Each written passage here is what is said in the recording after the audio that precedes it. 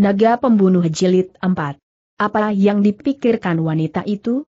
Bukan lain menukarkan anaknya. Wei Hong, sebagaimana diketahui, kenal betul kelihayan Beng Tan. Suami sumoinya itu sekarang merupakan pemuda pilih tanding karena tak ada pemuda atau laki-laki lain yang dapat menandingi Beng Tan ini. Pemuda itu adalah murid Bu Beng Xiansu, atau setidaknya, anak didik Bu Beng Xiansu karena kakek dewa itu telah memberikan sebuah dua buah ilmunya kepada pemuda ini. Dan karena kakek dewa Bu Beng Xiansu adalah kakek mahasakti di mana tak ada seorang pun di dunia ini yang mampu menandingi kepandaiannya maka Beng Tan sebagai murid kakek dewa itu tentu saja merupakan pemuda pilih tanding yang luar biasa, dan ini dipergunakan oleh Wi Hang untuk menukarkan anaknya itu. Wei Hang memasuki kamar sumoinya dan anak laki-laki yang ditinggalkan ibunya itu diamati lekat-lekat. Dia sendiri menyembunyikan anaknya di luar Hekian Pangsana, di dalam sebuah guha. Maka ketika dia berhadapan dengan SW Ichu dan sumoinya itu memberikan anaknya tiba-tiba saja Wei Hang melarikan anak ini dan SW Ichu tentu saja berteriak-teriak. SW Ichu tak tahu bahwa sucinya itu membohonginya. Dalam tanya jawab di kamar SW Icu diberitahu bahwa anak yang dikandung Wihang mati, padahal Wihang menyembunyikan anak itu di luar sana. Maka ketika anak itu dibawa lari dan SW Icu berteriak-teriak, tentu saja mengejar dan menyerang sucinya itu maka Wihang pergi ke hutan di mana anaknya sendiri disembunyikan. Di situ wanita ini menukar Giam Liong dengan Beng Hon dan secepat kilat keluar lagi dari guha, tahu bahwa dia dikejar-kejar dan Seng Ayah, Beng Tan, pasti mencari-cari dirinya membantu istrinya itu. Dan ketika benar saja Beng Tan muncul dan pemuda itu membentaknya untuk menyerahkan Hon Hon, anak yang dibawa Wei Hang ini maka Beng Tan tak menyangka bahwa anaknya telah ditukar karena anak yang dibawa wanita itu bukanlah Hon Hon melainkan Giam Liong. Dan Wei Hang berhasil menyelesaikan sandiwaranya. Sambil menangis dan pura-pura marah Wei Hang menyerang Beng Tan, tentu saja tak akan menang karena lawan memiliki kepandaian yang jauh di atas dirinya. Dan ketika anak itu dirampas dan Wei Hang melarikan diri maka akhirnya Beng Tan pulang ke markas sementara pagi itu Wei Hang menimang-nimang anak yang bukan lain adalah Hon Han atau Beng Hon itu. Hai Hik, selamat untuk keberuntunganmu, anakku sayang. Selamat untuk mewarisi kepandaian ayahmu yang gagah itu dan mencium serta mengelus kepala anak di gendongannya Wihang menunjukkan kata-katanya pada anak ini, karena dia tadi menunjukkan kata-katanya untuk Giam Liong di sana. Dan kau, hektometer, kau cukup mempelajari ilmu-ilmu silat Hekian Pang bocah. Biarlah kau kurawat dan kudidik sebagai anakku sendiri. Kau adalah keponakanku juga, kau putra sumoiku. Tak ada jeleknya merawat dirimu tapi jangan harap kau dapat mengalahkan Giam Liong. Wei Hang terkekeh-kekeh.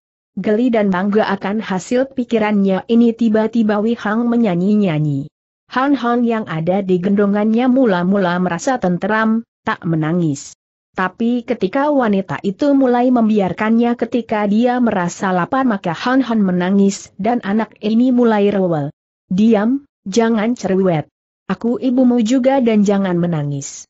Namun mana mau anak itu disuruh begitu? Seharusnya waktu itu Wihang memberinya makan, atau minum.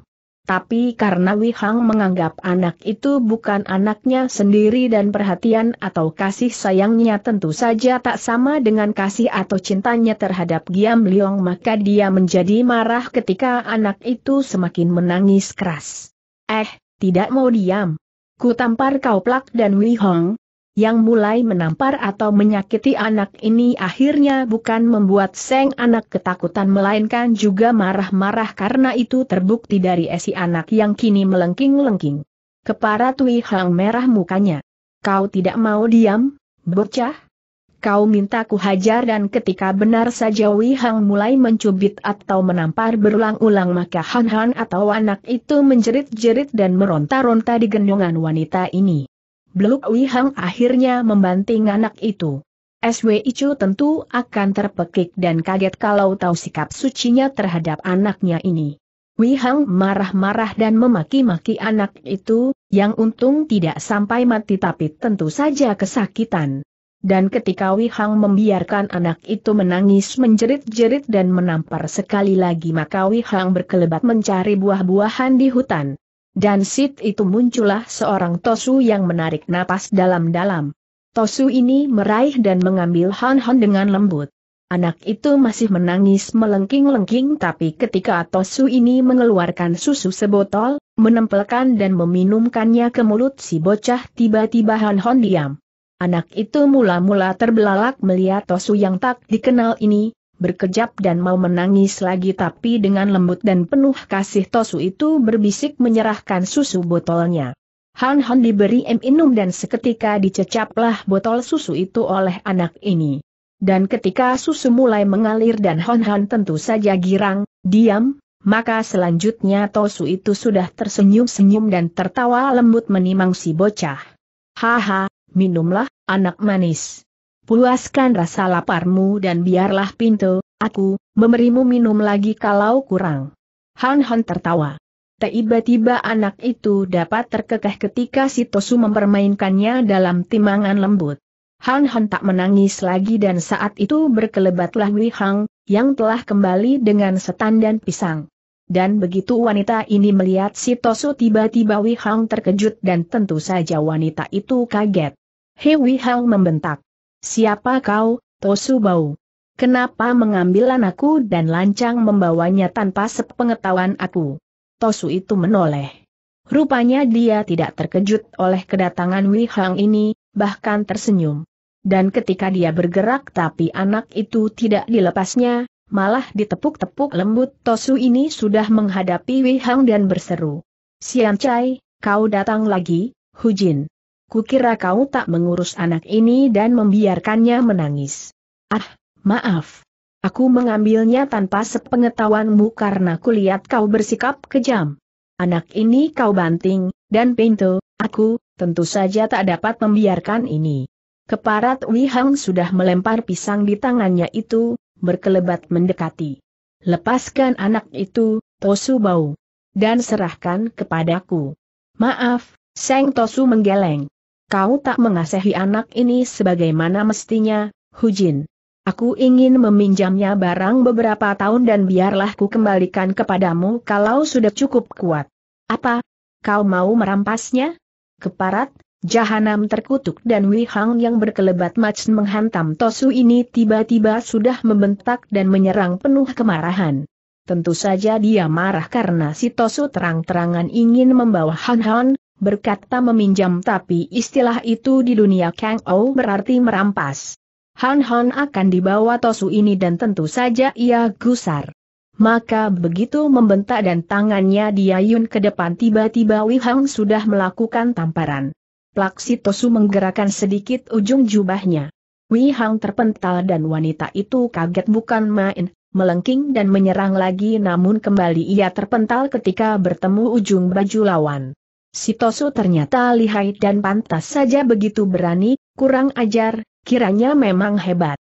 Dan ketika Wei Hang melengking-lengking dan mencabut pedangnya, menusuk dan membacok maka si Tosu berlompatan dan serangan-serangan ganas sinyonya selalu dapat dihindarinya dan dielak baik, Hai yang mengagetkan wanita ini. Berdebah. Terkutuk wanita ini memaki-maki. Hayo tangkis pedangku kalau berani, Tosu bau. Hayo layani aku dan jangan mengelak melulu. Hektometer, begitukah? Baik, aku tak akan mengelak melulu, Hujin. Dan kalau kau menghendaki aku menangkis maka itu pun akan kulakukan, piak plak dan pedang sinyonya yang tiba-tiba bertemu dan ditangkis lengan baju si Tosu tiba-tiba terpental dan hampir saja mengenai muka Wihang sendiri, membuat nyonya itu menjerit dan Wihang terbelalak pucat.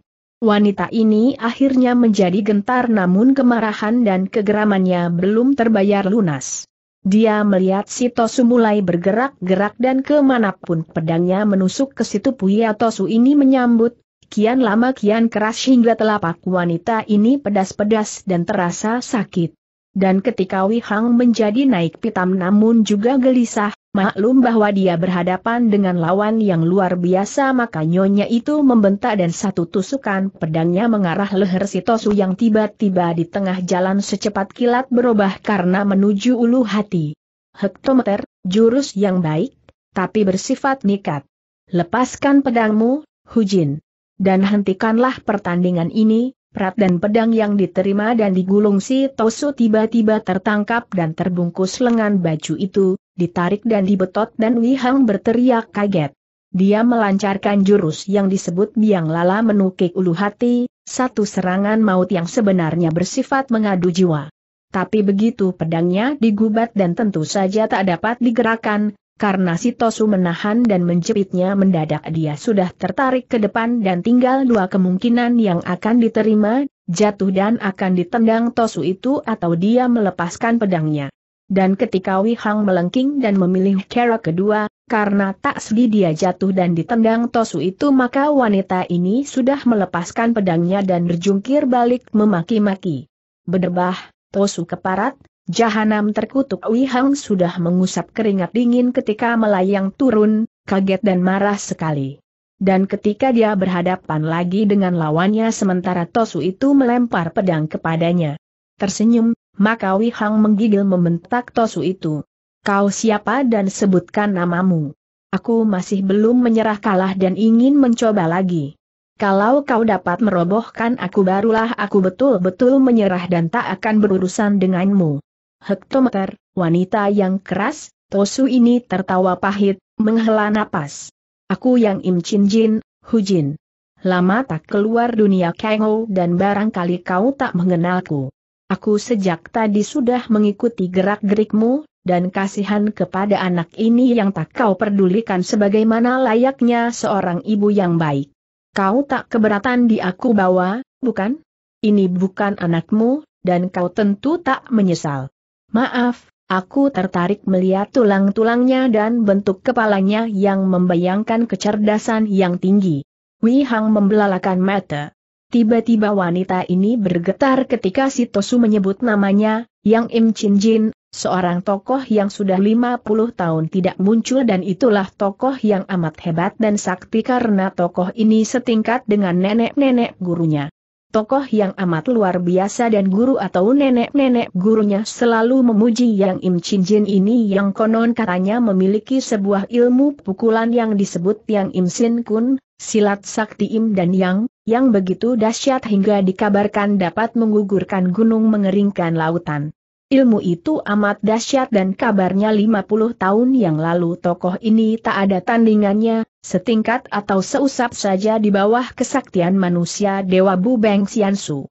Namun karena Bu Beng Xiansu lebih merupakan dongeng dibanding tokoh ini karena Bu Beng Xiansu menampakkan diri pada orang-orang tertentu saja maka yang Im Chin Jin yang lebih banyak keluar dan sering bertanding dengan jago-jago dunia Kang Lo itu lebih dikenal dan dirasakan kehadirannya daripada si manusia Dewa Bu Beng Xiansu. Dan orang nyaris menyamakan kakek itu dengan Bu Beng Xiansu, hal yang disanggah atau disangkal yang Im Chin Jin ini dengan berkata bahwa Bu Beng Xiansu lebih unggul. Entah sebuah pengakuan basa-basi ataukah pengakuan sesungguhnya, karena orang juga tak tahu apakah dua orang ini pernah bertemu. Maklumlah, kakek Dewa Bu Beng Xiansu itu hampir dipercaya sebagai tokoh dongeng saja, bukan tokoh yang sesungguhnya ada, seperti halnya yang Im Chin Chin ini. Maka begitu kakek itu muncul dan Tosu ini menyatakan diri sebagai yang Im Chin Jin, tokoh yang mungkin 6-7 tingkat di atas dirinya sendiri mendadak Wei Hang bengong dan hampir tidak percaya. Namun ketidakpercayaan akhirnya lebih menguasai wanita itu daripada bengongnya. Yang Im Chin Jin adalah tokoh yang usianya mungkin sudah 100 tahun, jadi tak masuk akal kalau masih hidup atau, kalaupun masih hidup, tentu tidak setegar dan segagah kakek ini. Tosu yang mengaku sebagai Yang Im Chin Jin itu usianya tampak seperti lima puluhan dan bukan seratus tahun, juga gagah dan mukanya pun bersinar-sinar seperti layaknya orang muda. Metu dan gigi Tosu ini pun masih utuh. Ah, tak mungkin Yang Im Chin Jin. Dan merasa bahwa dia ditakut-takuti, lawan terlalu berlebihan mendadak Wei Hang melejit dan membentak Tosu itu. Tosu siluman, kau rupanya pembohong.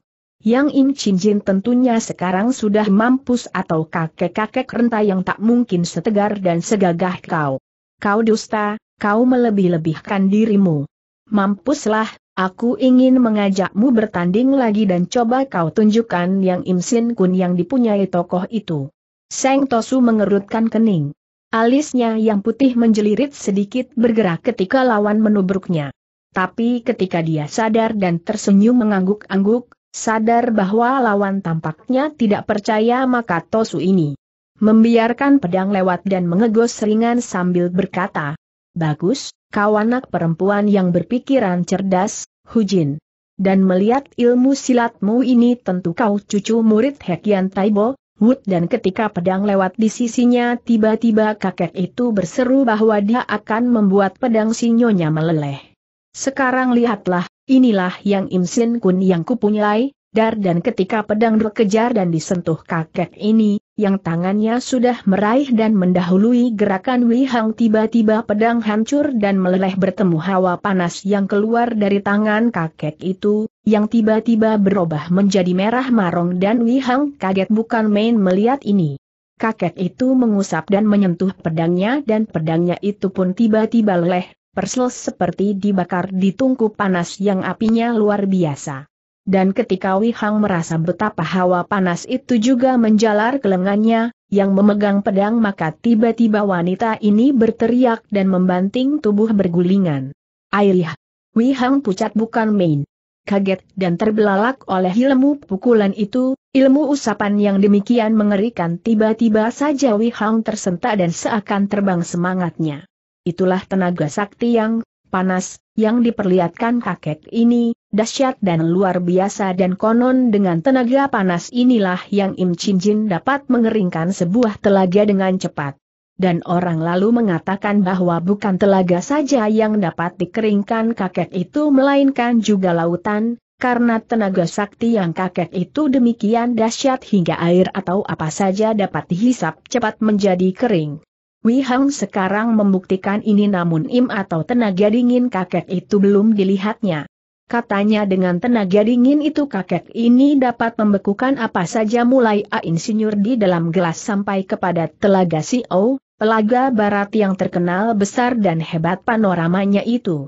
Dan ketika Wei Hong meloncat bangun dan bergulingan menjauh, ngeri dan gentar tapi juga masih kurang percaya tiba-tiba wanita itu melengking dan membentak si kakek agar mengeluarkan tenaga saktiinnya. Aku kurang percaya, dan masih ingin mencoba. Kau keluarkanlah tenaga ilmu itu dan kulihat apakah benar kau yang Im Chin Jin atau bukan. Seng Tosu bersinar matanya. Tiba-tiba sesorot cahaya dingin keluar dari mata kakek itu. Rasa tidak senang tapi juga maklumnya timbul berbareng. Tosu ini berkelit ketika si nyonya menyambar dan Wi Hang menyerang lagi sambil berseru agar dia mengeluarkan tenaga imnya itu, kalau benar dia adalah yang Im Chin Jin. Dan ketika kakek ini mengelak dan Wi Hang meledakkan rambutnya, menghantam kepala tiba-tiba kakek ini menghela napas dan berkata, Nyonya, ilmu bukan untuk dipamer-pamerkan apalagi dibuat permusuhan.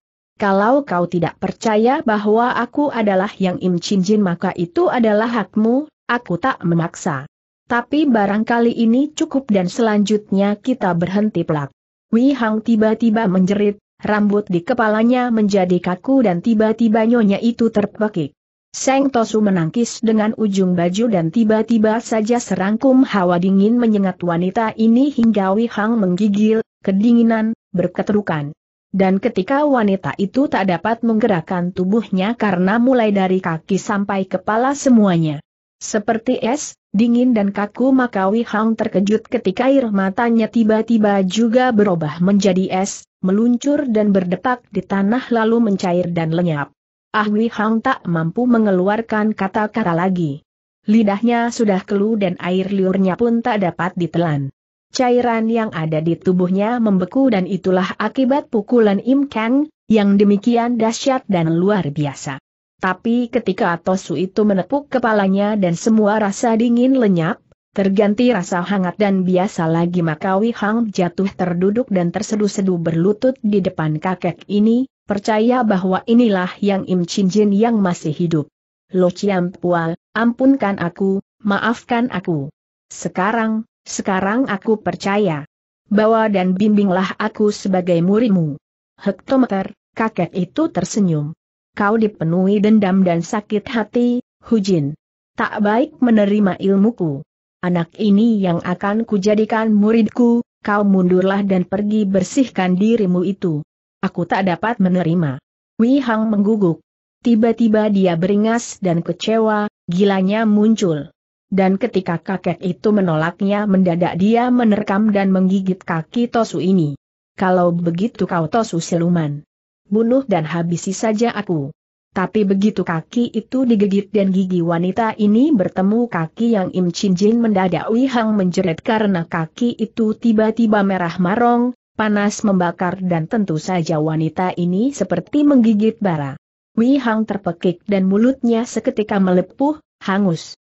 Dan ketika Wei Hang menjerit dan bergulingan mendesah-desah, kepanasan, maka yang Im Chin Jin tertawa pahit, dan berkelebat lenyap. Wanita malang, kau tak dapat menghapus api dendamu. Sayang, kau akan terbakar sendiri. Wei Hang berteriak-teriak. Akhirnya wanita ini bergulingan meloncat bangun memaki-maki si Tosu. Yang Im Chin Jin tak dihormatinya lagi sebagai tokoh tua melainkan dianggap musuh yang membuat kebenciannya meluap. Tosu itu dikejar dan ditantang-tantangnya, lucu. Padahal kalau Tosu itu ada tentu wanita ini tak akan mampu menandingi. Maklum, menggigit kakinya saja Wei Hang sudah kepanasan dan terbakar, akibat tenaga yang atau panas yang dimiliki Tosu itu. Dan ketika Wei Hang menangis dan melengking-lengking, Lawan tak ada di depannya lagi maka wanita ini mengguguk dan jatuh terduduk di bawah pohon. Hari itu Li Hang Mi lampiaskan kemarahannya dengan mencabut-cabuti apa saja yang ada di depannya. Frustrasi berat melandanya. Tapi begitu ingat bahwa Giam Liong di tangan Beng Tan tiba-tiba saja Wei Hang ingin tahu siapakah yang kelak lebih hebat. Anaknya itu ataukah Beng Han? Pewaris Bu Beng Su ataukah yang Im Chin Jin? Dan ketika wanita ini terkekeh-kekeh dan bangkit berdiri, mati meliar, maka Wei Hang terhuyung meninggalkan hutan itu dan mulutnya sering tertawa-tawa meskipun air matanya bercucuran menangis. Waktu, seperti yang kita lihat dan rasakan adalah makhluk yang perkasa sekali. Tak ada benda-benda baik di dalam maupun di luar bumi yang tidak dilahapnya habis. Besi dan batu dirobahnya menjadi sesuatu yang lain. Tanaman-tanaman yang dulu muda tiba-tiba saja beberapa tahun kemudian sudah menjadi besar dan hebat di mana akhirnya mereka itu tua dan kering. Semua benda di dalam dan di luar bumi digelas oleh makhluk yang bernama waktu ini hingga tak terasa sudah menjadi lain dari yang dulu.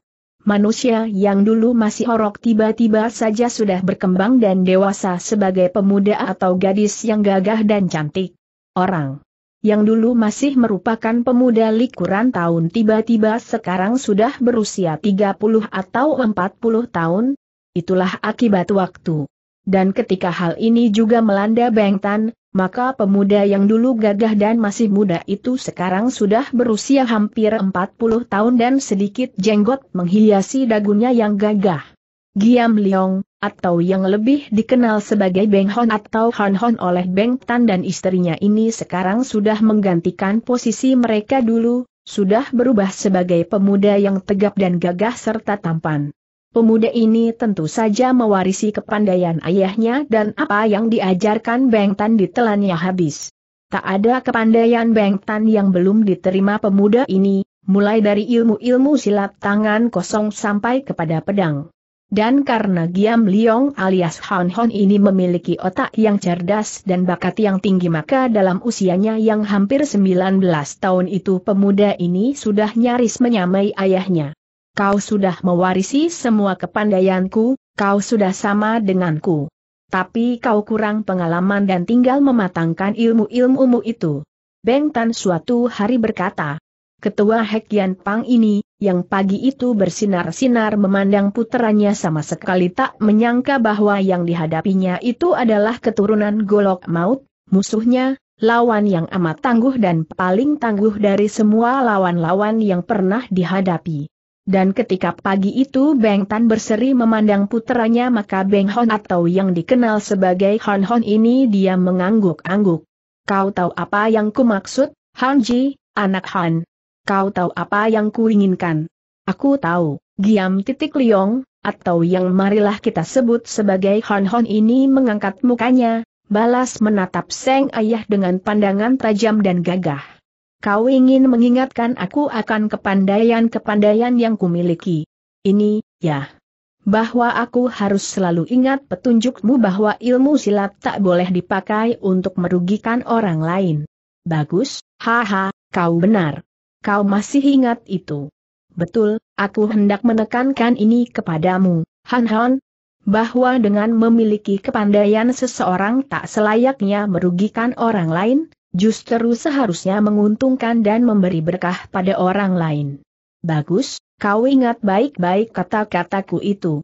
Sekarang, tak adakah keinginan di hatimu untuk keluar dan melihat-lihat dunia Kang Ong? Kau selama ini lebih suka mengurung diri, Han Han, giat berlatih dan tekun sekali mempelajari semua ilmu-ilmu silatku itu. Itu baik-baik saja, tapi selalu mengurung dan menyembunyikan diri di kamar tentu tidaklah sehat bagi jiwamu yang perlu tumbuh dan berkembang. Han Han, pemuda ini, diam saja. Dia menunduk ketika ayahnya bicara tentang itu dan entah kenapa mukanya tiba-tiba merona merah. Memang, selama ini tak pernah Han Han atau pemuda itu keluar rumah. Mula-mula hal itu menyenangkan Beng Tan karena hal ini tak membuat putranya keluyuran. Pemuda kalau sudah suka keluyuran biasanya pasti tak baik. Tapi ketika semakin dewasa Han Han justru semakin suka mengurung diri kamar maka diam-diam Beng Tan atau Seng Ayah ini heran juga. Pemuda itu terlampau pendiam dan tak banyak bicara. Jarang bercanda atau bergurau. Kalaupun ada yang lucu, maka puteranya ini hanya tersenyum sedikit dan setelah itu mulut pun terkatup rapat. Kesannya, Pemuda ini dingin dan tak suka banyak cakap. Sungguh berbeda dengan wataknya atau watak istrinya itu, yang riang dan suka terkekeh-kekeh kalau ada sesuatu yang lucu sedikit saja. Dan ketika Beng Hon juga tak menunjukkan tanda-tanda tertarik akan wanita, dingin dan acuh maka Beng Tan atau Seng Ayah menjadi khawatir dan tak nyaman juga. Di Hakian Pang sebenarnya banyak anak-anak gadis cantik. Mereka itu adalah putri-putri para murid senior yang sudah menginjak remaja. Bang Hon atau Hon Hon ini sering dibicarakan secara bisik-bisik oleh gadis-gadis remaja itu, bahkan banyak di antaranya yang coba memikat dan jatuh hati. Tapi karena Hon Hon dingin-dingin saja dan tak acuh, hatinya tampaknya tawar oleh semua itu maka Bang Tan diam-diam khawatir kalau putranya ini tidak mau menikah. Pernah suatu kali Beng Tan coba-coba menggoda putranya itu apakah Han Han tak tahu lirikan anak-anak murid Hekian Pang yang naksir padanya, gadis-gadis remaja itu. Tapi ketika Han Han tersipu malu dan menunduk, mendiamkan saja godaan ayahnya itu maka Beng Tan penasaran dan menepuk pundak putranya ini. Eh, apa jawabmu, Han Han? Kau tak tertarik atau jatuh hati pada gadis-gadis remaja itu? Kau tak tahu bahwa kau dilirik dan ditaksir oleh banyak dari mereka? Ah, ayah. Kenapa kau menggodaku seperti ini? Aku tak tahu tentang semuanya itu, dan aku tak tertarik dengan semuanya itu. Aku tak suka wanita, aku jijik dengan mereka. Apa seng ayah terbelalak? Kau jijik. Maksudmu entahlah, Han Han tampak bingung. Aku tak suka. Wanita, ayah. Aku benci mereka. Di sudut hatiku bahkan terasa adanya semacam permusuhan yang tidak bersebab musabab. Aku tak suka mereka. Tapi ibumu wanita. Maaf, pemuda ini tampak terkejut. Itu lain, ayah. Tapi, ah, sudahlah.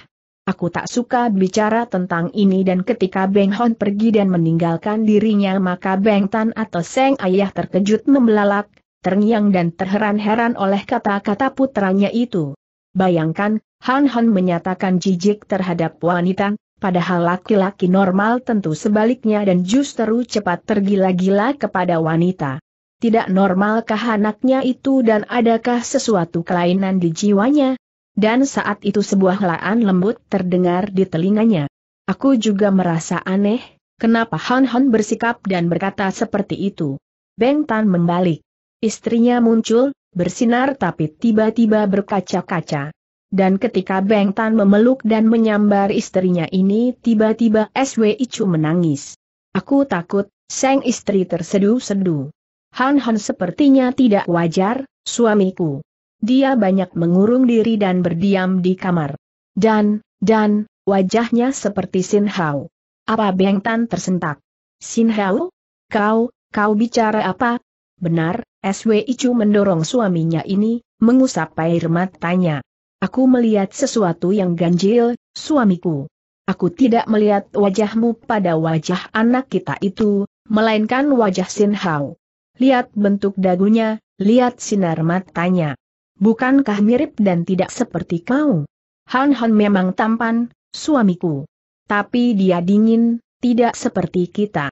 Tapi dia anak kita benar. Dan tak mungkin anak Sin Hao. Eh, apakah dulu semasa mengandungmu kau membenci si golok maut itu, Cumoy.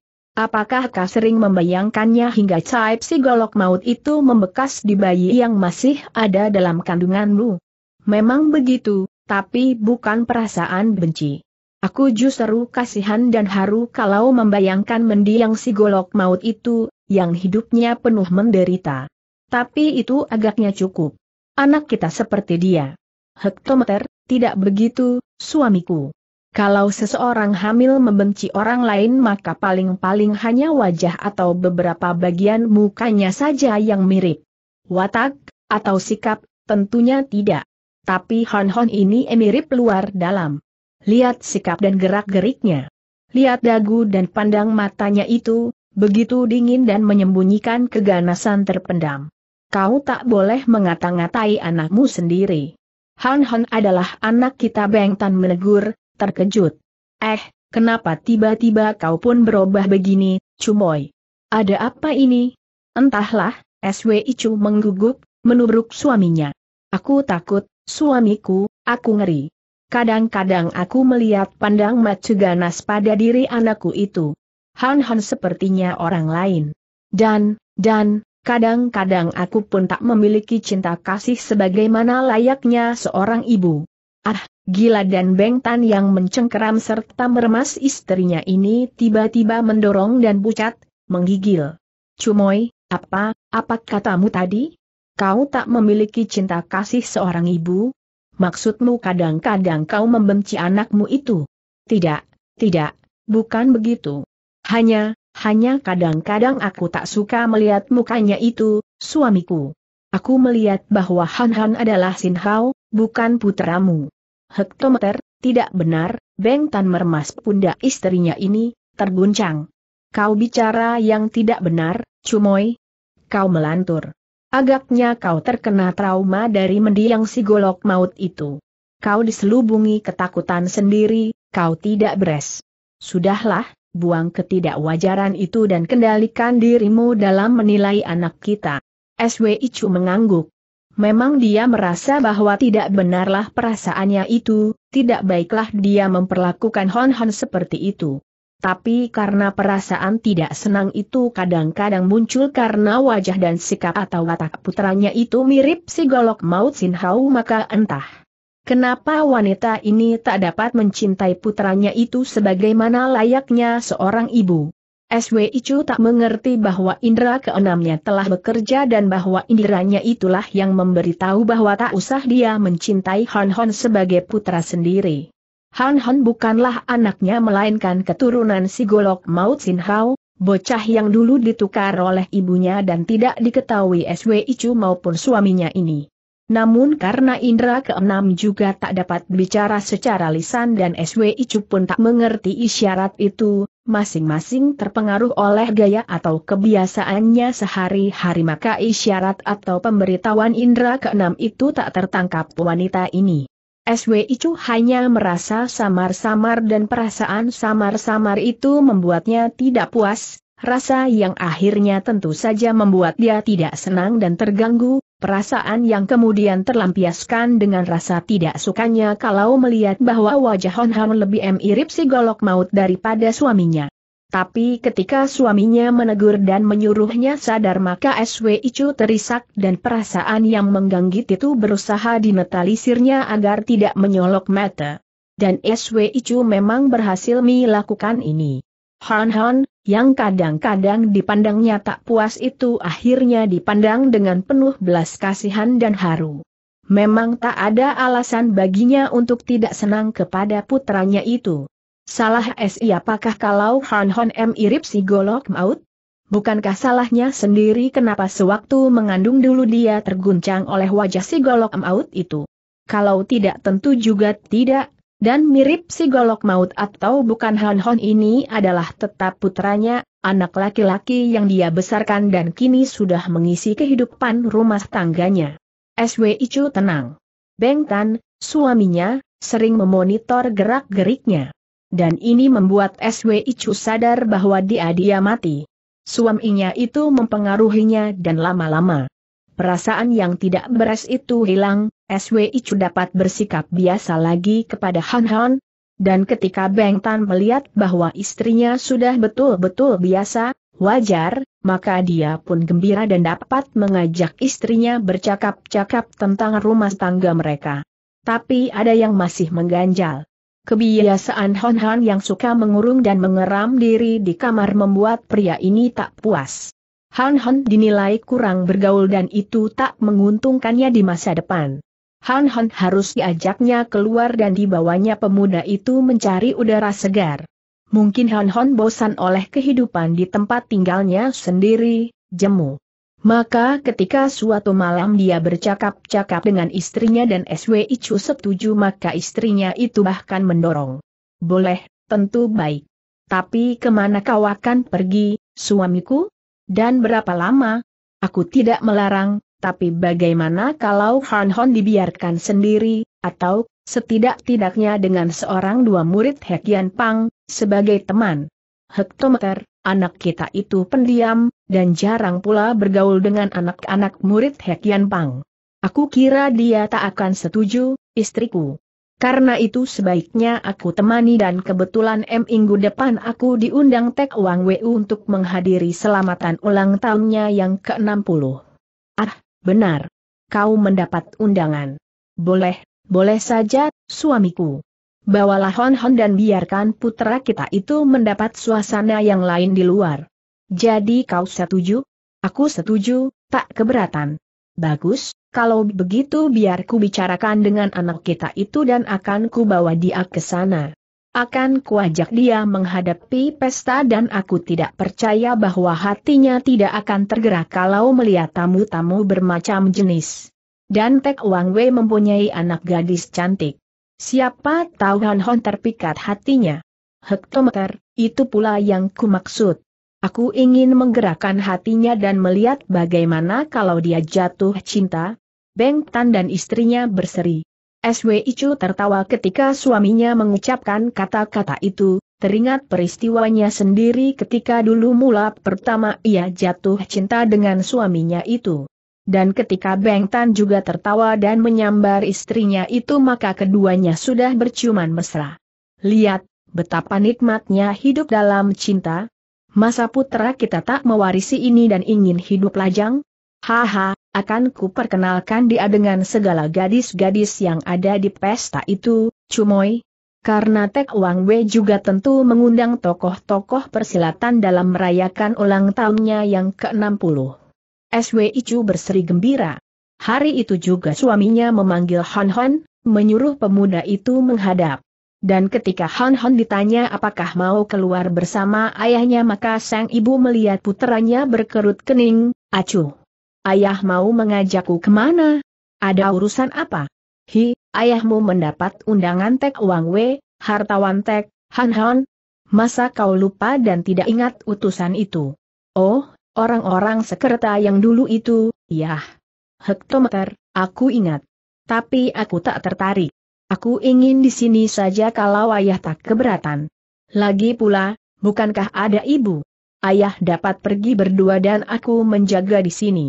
Hektometer, ibumu tak enak badan, Han Han, dan aku tentunya tak mau pergi sendiri. Kau menemani ayahmu, mau atau tidak? Baiklah, Han Han tampaknya ogah-ogahan.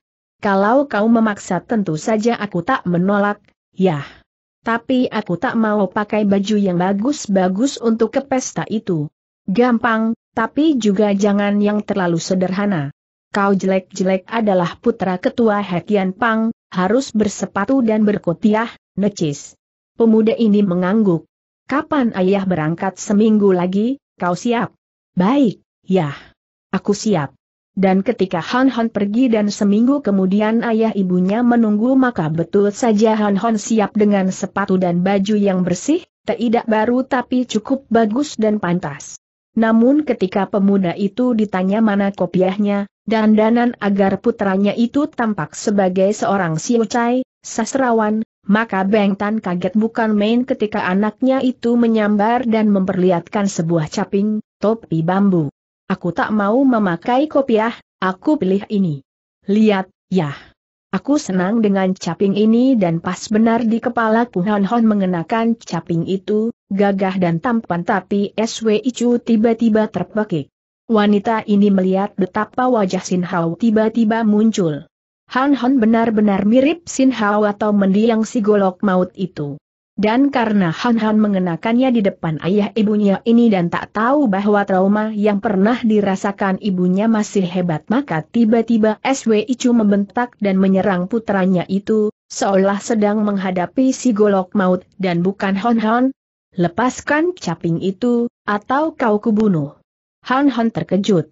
Dia tak menyangka ibunya menyerang tapi pemuda ini secara otomatis menangkis, menolak dan mementalkan ibunya itu. Dan ketika SW Icu berjungkir balik sementara Han Han terhuyung, caping di kepalanya mencelat. Maka pemuda ini terheran dan bercat memandang ibunya itu, menggigil. Ibu, apa, apa artinya ini? Kau mau membunuh aku hektometer sang ibu layang turun, kaget dan sadar akan perbuatannya tadi, serangan otomatis. Aku tak suka kau mengenakan caping itu, Han Han, Aku benci melihat kau mengenakan topi bambu. Buang itu dan kenakan kopiah yang pantas. Kau anak seorang ketua perkumpulan. Dan dari mana kau dapatkan itu, Seng ayah kini juga bicara, maju dengan cepat. Selain untuk mencegah istrinya menyerang lagi juga karena dia heran dan kaget bagaimana tiba-tiba putranya itu memilih caping bambu, bukannya kopiah atau topi yang pantas sebagaimana layaknya putra seorang ketua. Han Han memilih caping itu yang lebih pantas dikenakan seorang jembel atau pengemis, padahal itu tentu saja tak pantas baginya. Dan karena caping itu juga mengingatkan Beng Tan akan profil si golok maut maka laki-laki atau pria ini mencegah puteranya mengenakan caping. Aku, aku mendapatkannya di belakang, Han Han menjawab, bingung dan juga tampak tidak mengerti kenapa ayah atau ibunya marah-marah. Aku menemukannya di sumur tua, ayah, mengambilnya dan senang karena caping ini pas sekali di kepalaku. Aku, aku tidak mengerti kenapa ayah atau ibu marah-marah. Hektometer, kau harus tahu, Seng ayah menerangkan. Kau putra seorang ketua perkumpulan, Han Han, bukan anak seorang pengemis atau jembel. Tapi caping ini masih bagus, juga kuat. Tak mungkin punya kaum jembel. Kau tak mau mendengar kata-kataku Seng Ayah mengerutkan kening. Setidak-tidaknya jangan buat ibumu malu, Han Han. Caping itu tak pantas untukmu dan buang saja. Dengar nasihatku. Tidak, jangan, Ayah Seng pemuda tiba-tiba menyambar kembali caping itu. Aku suka dan jangan caping ini dibuang. Ini barang temuanku hektometer, tapi aku tak suka sang ibu tiba-tiba berkelebat, merasa bahwa tenaga puteranya tadi demikian hebat. Kesinikan dan berikan caping itu, Han Han, ibumu yang akan menyimpan. Han Han tertegun. Ibunya merampas dan mengambil caping itu, berkelebat dan tak lama kemudian sudah membawa ganti sebuah topi indah dari bulu domba, bagus dan mengenakannya pada kepala putranya itu. Dan ketika Han Han membiarkannya saja dan bertanya apakah ibunya tidak membuang caping itu maka pemuda ini berkerut kecewa. Aku harap ibu menepati janji. Itu adalah milikku, barang temuanku. Aku tak suka ibu membuangnya karena aku tentu akan mencari yang lain lagi sebagai gantinya. Hektometer, kau tak usah khawatir. Ibu menyimpannya di kamar ibu, tapi sekarang pakailah ini dan pergilah bersama ayahmu. Han Han tak banyak membantah. Beng Tan melihat putranya itu menunjukkan muka kecewa namun dipendam, Seng istri memberi isyarat dan segeralah Seng ayah mengajak putranya pergi. Dan ketika Han Han mengangguk dan berkelebat bersama ayahnya maka dua laki-laki ini sudah ke tempat Tek Wang Wei. Hartawan itu adalah teman baik Beng Tan dan kini merayakan ulang tahunnya yang ke-60. Sebagai ketua perkumpulan yang disegani maka Tek Wang Wei sering memberi sumbangan kepada Hekian Pang ini, di samping sebagai jalinan persahabatan juga sekaligus sebagai pelindung kalau orang berani mengganggu hartawan itu. Tek Wang Wei memang cukup dermawan meskipun tentu saja kedermawanannya itu bukan tanpa maksud. Sebagai hartawan atau orang kaya yang banyak uangnya hartawan ini harus menjalin hubungan dengan orang-orang pandai. Sudah bukan menjadi rahasia lagi kalau kaum hartawan atau bangsawan memiliki sahabat orang-orang kengowa atau tokoh-tokoh persilatan. Mereka itu perlu menempel karena persahabatan mereka dengan orang-orang kengowa atau tokoh-tokoh persilatan tertentu ini memberikan semacam status tambahan kepada diri mereka. Maka ketika Tek Wang Wei juga menempel Beng Tan dan dengan sumbangan-sumbangannya yang tetap kepada perkumpulan Hekian Pang itu mau tidak mau Beng Tan harus menghargai hartawan itu maka ketika dia tiba di sana, di kota Liang, Beng Tan disambut hangat dan penuh hormat. Ah, haha, kiranya Hekian Pang Chu, ketua Hekian Pang. Selamat datang, Tai Hiap, selamat datang. Mari masuk dan duduk di kursi kehormatan. Cuan rumah langsung menyambut sendiri kehadiran Beng Tan itu. Semua mata menoleh dan otomatis ayah dan anak menjadi pusat perhatian. Beng Tan tersenyum-senyum dan menjura di depan tuan rumah sementara puteranya tersipu dan sedikit malu. Han Han tak biasa menjadi perhatian demikian banyak orang dan para wanita atau gadis yang duduk di deretan kursi sebelah kiri tiba-tiba berdecak kagum. Mereka melihat kegagahan dan ketampanan pemuda itu, juga gerak-geriknya yang halus namun menyembunyikan kekuatan yang dahsyat.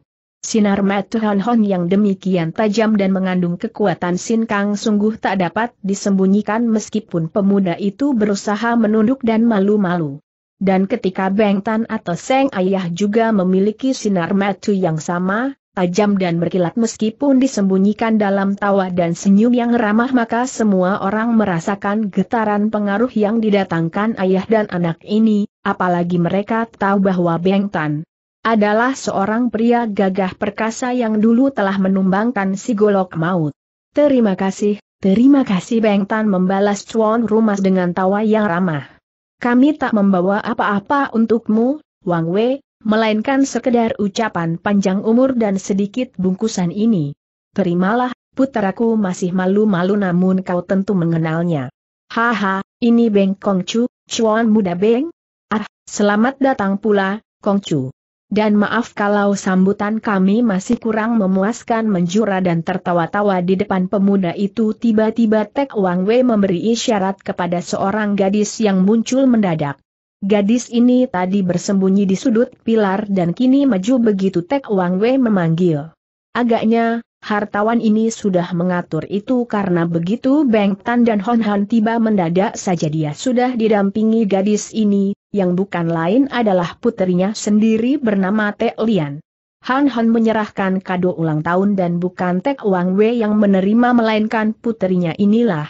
Dan ketika Tek Lian maju dan menyambut, menjurat terlebih dahulu di depan Beng Tan baru kemudian Hon Hon maka gadis atau putri Tek Wang Wei ini mengeluarkan suaranya yang merdu. Beng Tai Hiap, sebagai putri ayah aku menghaturkan selamat datang atas kunjungan ini. Terima kasih atas kadonya dan semoga Beng Tai Hiap dan Kong Chu sehat-sehat dan betah di tempat kami. Beng Tan tertawa. Dia melirik putranya ketika kado diserahkan, melihat jari-jari mereka bersentuhan dan putranya itu cepat menarik diri. Ada sesuatu yang agak membuat kening pendekar ini berkerut. Han Han serasa disentuh ular ketika jari-jari lentik Teklian menyentuh tangan putranya. Hektometer. Dan ketika Han Han mundur dengan cepat dan Teklian tampak tertegun, semburat, maka Beng Tan batuk-batuk dan coba menghilangkan ganjalan tidak enak yang sedikit itu. Kami duduk di mana? Ah Tek Wang Wei cepat sadar. Duduk di tempat yang telah kami sediakan, Tai Hiap. Mari, mari kursi untuk kalian. Berdua adalah di atas panggung. Beng Tan menggamit putranya.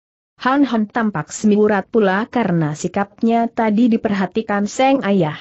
Diam-diam Beng Tan berbisik agar putranya itu bersikap wajar saja. Mereka di rumah orang, mereka adalah tamu. Dan ketika Han Han mengangguk dan tiba-tiba terdengar suara cekikikan mendadak seorang wanita berbaju kuning berkelebat dan menghadang di tengah jalan, ketika ayah dan anak ini siap diantar ke kursi kehormatan oleh hartawan Tek. Wang Wei, bolehkah aku berkenalan sebentar dengan Hekian Pangcu dan puteranya ini? Maaf, bukan untuk mengganggu, melainkan sekedar menyatakan kagum dan ingin berkenalan secara tulus. Tek Wang Wei mengerutkan kening. Tiba-tiba matanya bersinar tak senang karena itulah Wang Ho Chow Ali, Dewi Ular dari Wang Ho, tamu tak diundang tapi muncul di saat dia merayakan ulang tahun. Namun karena yang dituju adalah Beng Tan dan tamunya itu tampak mengangguk, memberikan isyarat, maka hartawan ini tersenyum dan buru-buru menjura. Ah, kiranya Wong Ho Chow Ali. Selamat datang, Nona. Dan maaf kalau aku lupa mengundangmu. Hai Hik, tak usah basa-basi.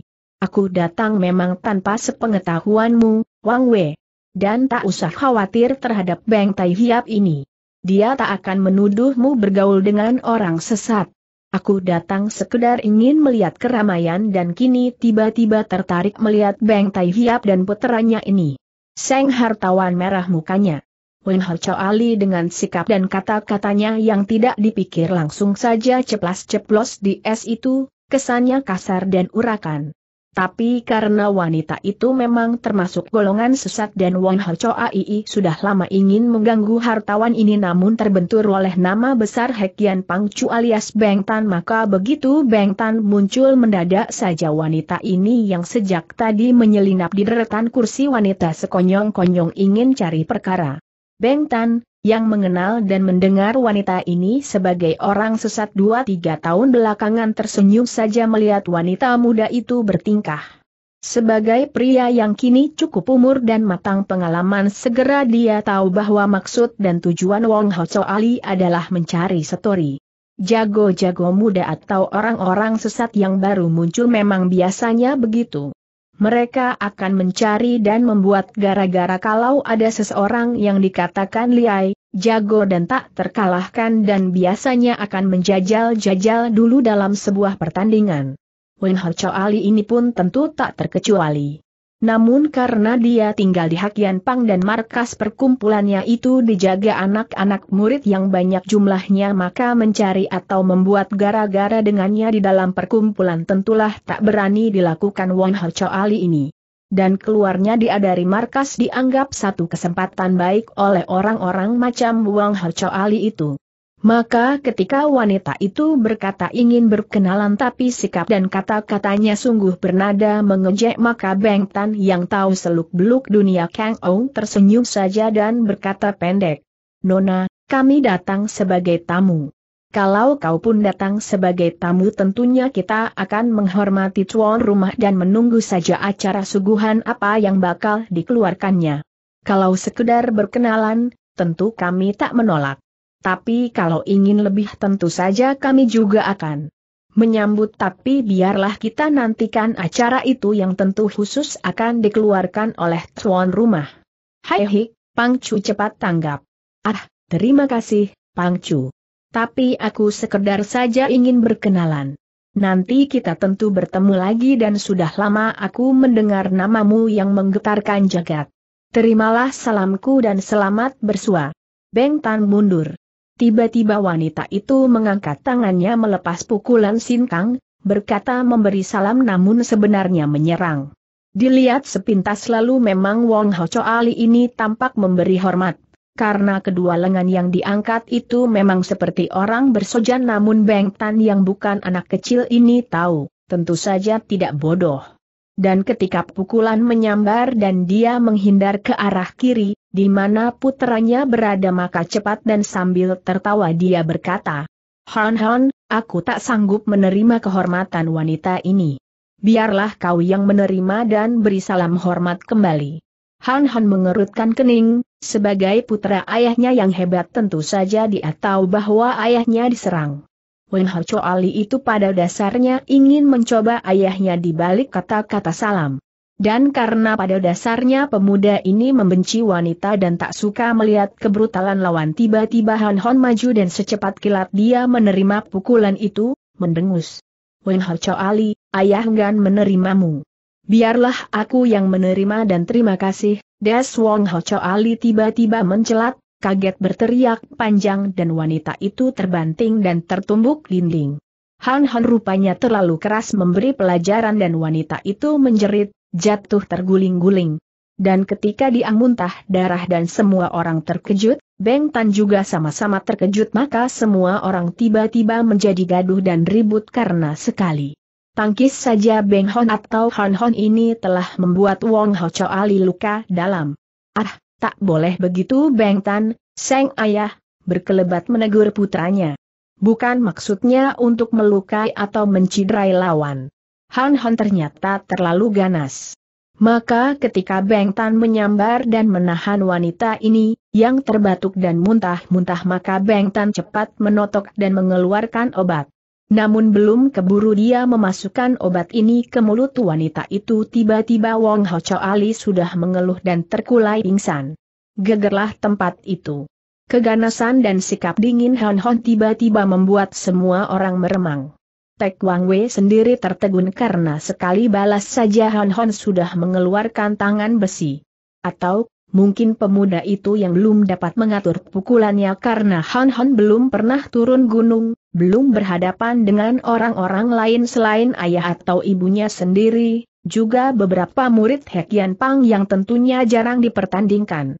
Maka begitu Wong Ho Ali tak sadarkan diri dan para tamu kaget, ribut, maka Tek Wang Wei cepat berlari menghampiri dan ikut menolong Beng Tan yang merah pada menyiumankan wanita itu. Maaf, Pendekar ini gemetar. Han Han terlalu keras, Wang Wei. Bukan maksudku untuk menyuruhnya begitu. Biar nanti di aku tegur dan kusyumankan dulu wanita ini. Tak apa, Seng Hartawan pun gugup. Weng Cho Ali telah bersikap liar dan menyerangmu duluan, Tai Hiap. Kalau dia bersikap baik-baik dan tidak kasar seperti tadi tentu Beng Kong Chu juga tak akan membuatnya begini. Puteramu marah, dan itu wajar biarlah menjadi pelajaran baginya agar dapat bersikap sopan di rumah orang. Wen Hao Ali akhirnya sadar. Beng Tan yang menotok dan menjejalkan Ju butir obat akhirnya membuat wanita itu syuman. Wen Hao Ali membuka sata dan terbelalak ketika melihat Beng Tan. Dia mengeluh dan cepat melompat bangun menepis tangan Seng pendekar. Dan ketika wanita itu terhuyung dan terisak memandang Hon Hon, yang juga sudah berdiri dan di dekat ayahnya maka wanita ini melengking dengan mata berapi-api. Hek Yan Pangcu, kau bertanggung jawab atas perbuatan putramu. Aku tak terima dan Wong Harco Ali yang menerjang dan menusuk Hon Hon, Sidah mencabut pedangnya tiba-tiba ditangkis Beng Tan yang tak ingin melihat Hon Hon menurunkan tangan ganas lagi. Pendekar itu berseru bahwa itu adalah tanggung jawabnya, Wong Harco Ali boleh menyerangnya tapi jangan ke Hon Hon.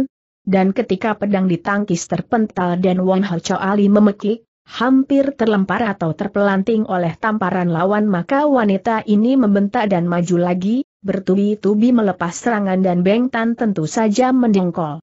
Sebenarnya secara baik-baik dia ingin menyelamatkan wanita ini dari ketelengasan putranya. Dia tak ingin melihat Wong Cho Ali terbanting dan terluka lagi oleh balasan putranya.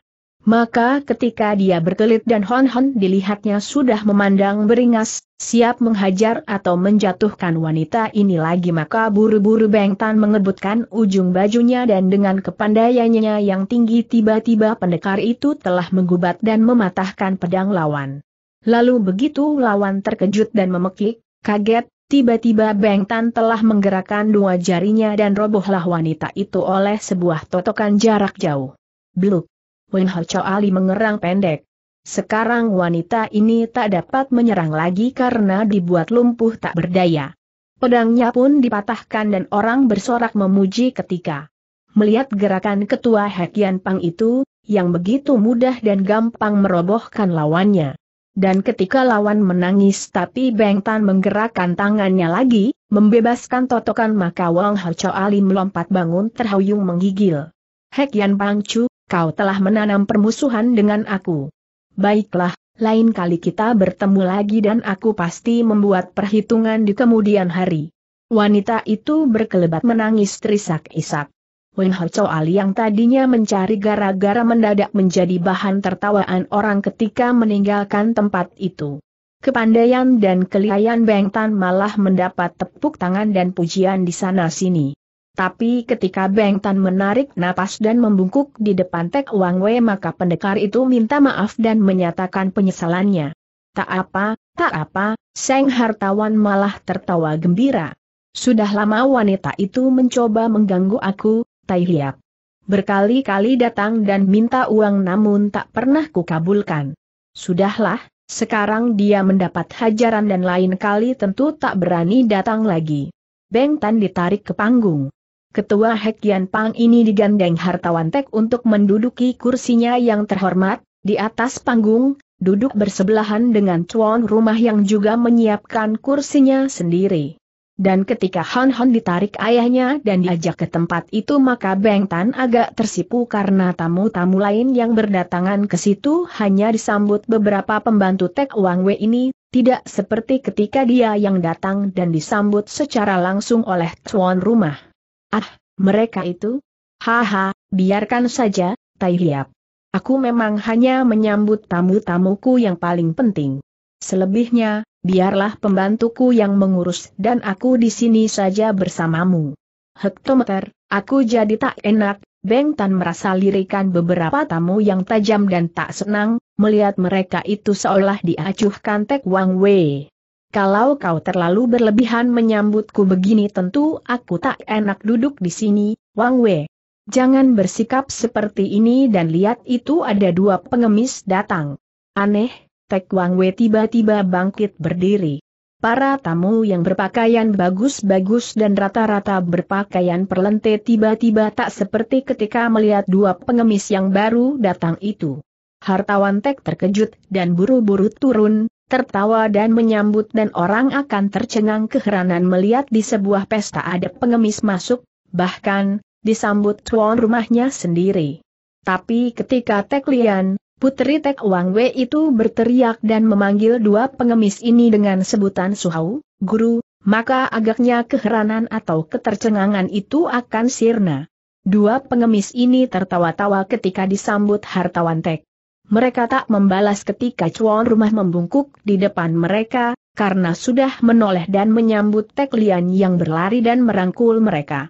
Dan ketika Tek Wang Wei cengar-cengir sementara dua pengemis itu sudah menepuk-nepuk pundak muridnya maka mereka tiba-tiba tertegun melihat di atas panggung, di kursi kehormatan sudah duduk Beng Tan dan putranya itu. Siapa mereka dua pengemis ini bertanya, tak sungkan-sungkan. Kehormatan apakah yang kau berikan kepadanya, Wang Wei? Pantaskah mereka duduk di situ?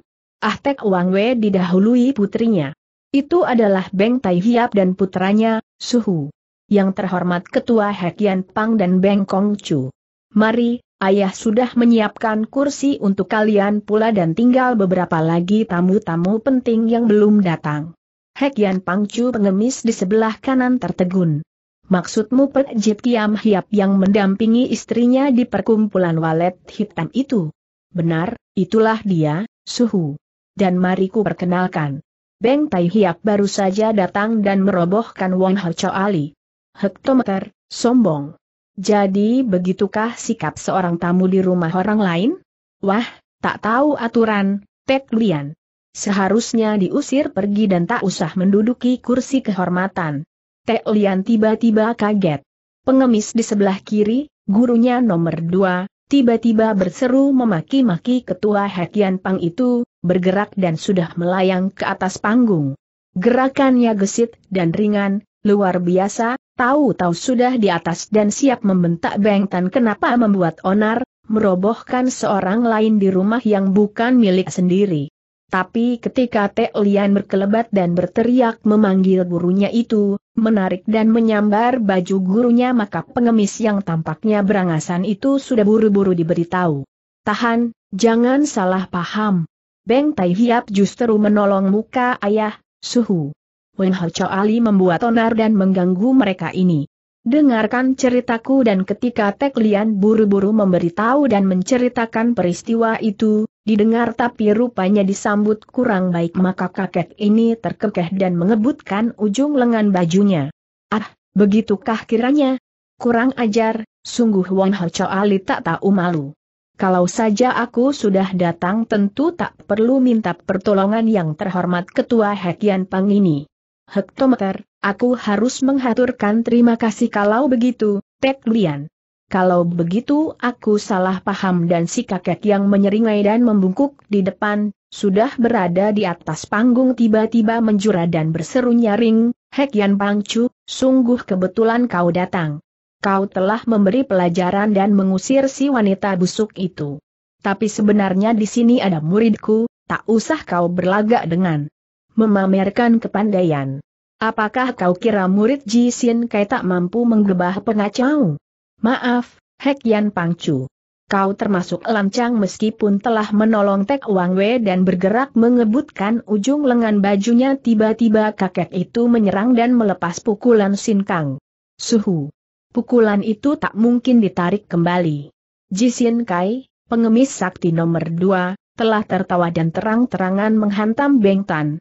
Dari ujung bajunya yang apek itu keluar angin menderu dan bau tidak enak.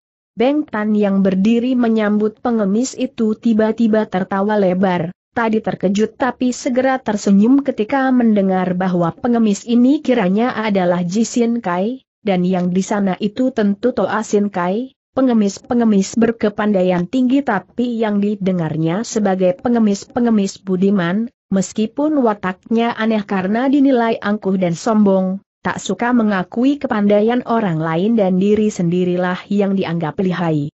Maka begitu Ji Sin Kai menyerangnya dan kakek itu terang-terangan melepas pukulan, membentak dan tentu ingin mengujahnya maka pria ini tertawa lebar menggerakkan tangan kiri ke depan. Sin Kai, jangan salah paham. Aku tidak pamer kepandaian, melainkan Wong Ho Cho Ali itulah yang menyerangku habis-habisan. Kalau kau tidak senang dengan perbuatanku tentu saja aku minta maaf, dan selamat berkenalan serta jumpa di sini, plak,